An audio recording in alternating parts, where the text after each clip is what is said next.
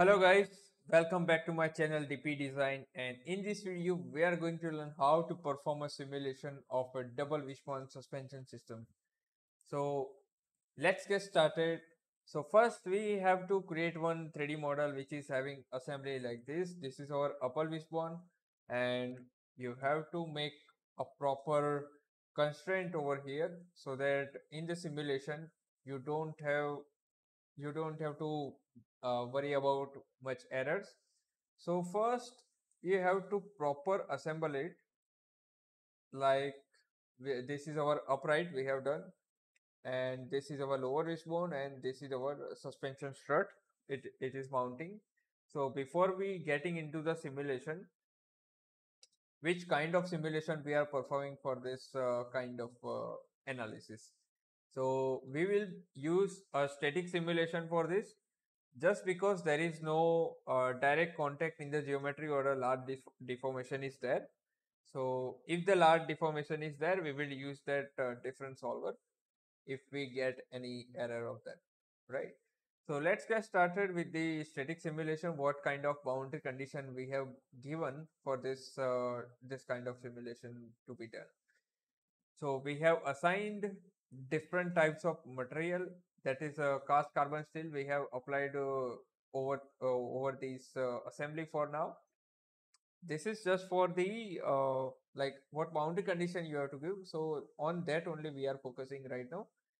Not much parameters have been included in the simulation for now.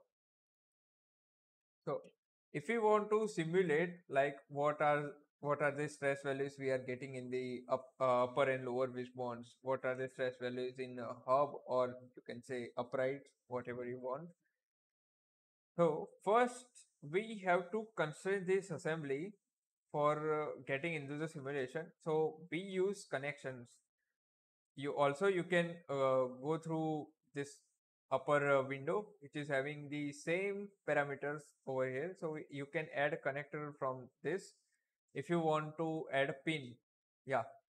So this hole and this hole having the pin you have to add a pin between the strut and this mount. So what we have done in the first we have selected these three faces to add one pin so that it, it can constrain over here just like a bolt right we have considered it as a rigid. If you want to add a stiffness values you can add the rotational axial stiffness if you have the values. Also you can select the connection type. It is distributed or a rigid. We will take it as a rigid for now. So yeah we will click ok. Then what will be our second pin? Our second pin will be this. So if you edit this we have the lower wishbone and up uh, we have upright connection over there so we have selected this faces as a rigid connection through the our connector. So this is okay and our third pin is our upper wishbone and the upright. So this is our upper wishbone and this is our upright where we have selected a three faces uh, throughout the pin connector. How to add a pin? So you can go to the direct connectors and select the pin and select this uh, whatever faces you want to select so this will be a pin. Our fourth pin will be this, this one. Here, you, here you can see the inner uh, strut, this one. So that is also the rigid for the uh, for the motion. Now it is a uh, main factor we are adding uh, for now in the simulation to getting the accurate result.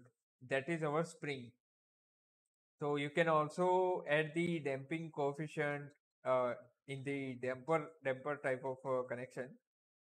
So what we have done, we have selected the spring in the two faces. That is the first one is this and second one is this face. Between two faces, we have added one spring which is having a 60 pound per inch having the stiffness values.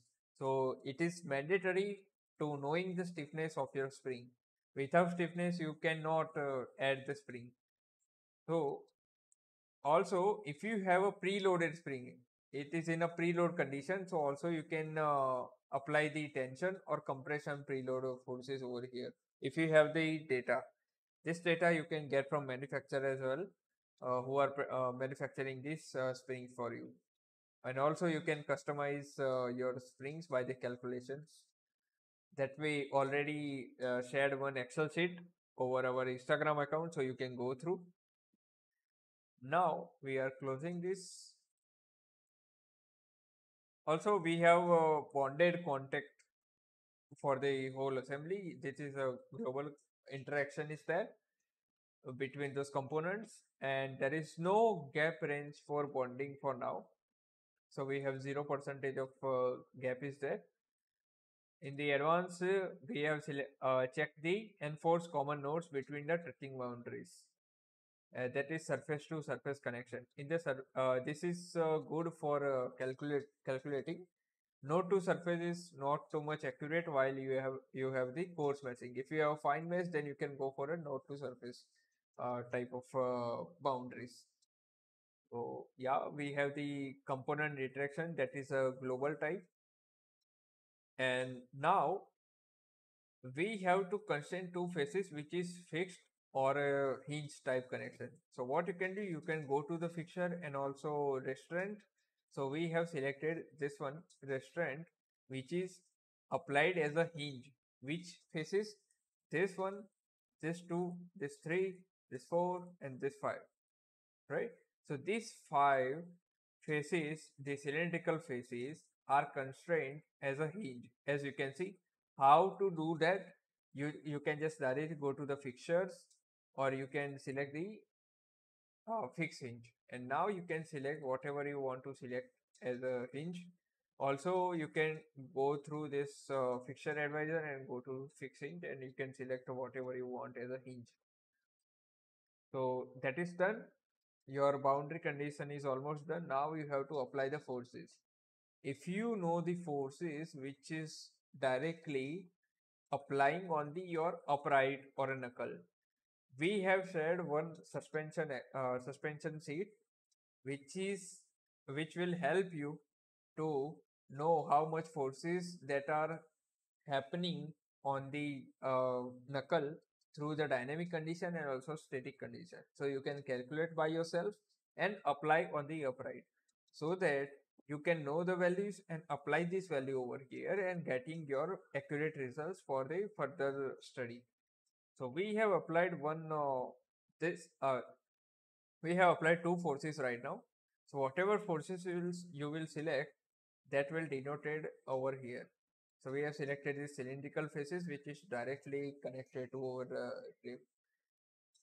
So yeah, I will check this okay and you can click it a reverse direction or this reverse direction, right? So 111 Newton is on this side and around 900 Newton is on this side. So we have checked the both of forces and if you have a third then you can select the third one and apply the whatever forces value you have. And you have to select one like uh, direction uh, for the directional uh, direction forces. So you have to select one reference plane for that and also the face you, face you are applying. So you have to uh, select this face and also if you want to consider this face as a bearing so also you can select that as well. So you are almost done with the boundary condition. Now in the pre-processing stage we have one important uh, parameter that is our meshing. So wherever you you are uh, getting the high stress value or you can assume that that uh, these are my location where the high stress can come or can occur right? So what you can do you can apply the mesh controls over there. So what i will do i have applied the three control methods over this uh, fillet. So it can uh, it can get the more accurate results uh, for the stress and displacement. So what i have done i have applied the control like 0.3 inch over here. And these fillets are 0.3 inch and also uh, this one okay my meshing is fine and also my ratio is 1.5 that is good. Below 5 it, it is also good uh, for the meshing good meshing yeah. My third control is this one. These are faces are constrained by uh, having the 0.3 which is the same uh, mesh control it is having so also you can go through the quality of mesh what is this. So you can see uh, this fillet area is my is having the finer mesh over over the uh, this part. And this geometry also having the finer mesh wherever I apply the mesh control for that. So you can reduce uh, reduce whatever whatever capabilities your uh, computer have. So you can uh, reduce more apply the fine mesh for the better results. So this basic connections or a boundary condition you can say you have to apply for this kind of simulation. So this is our uh, pre-processing uh, is done now. Now we are moving on the post-processing where we simulate our result and see whatever is happening. So you, as you can see my higher stress values are this location and also you can select the your yield point that is 2.4 into 10 raised to 8 newton per meter square. So you can see and you can click yeah and you can go to the yield strength maximum. Okay.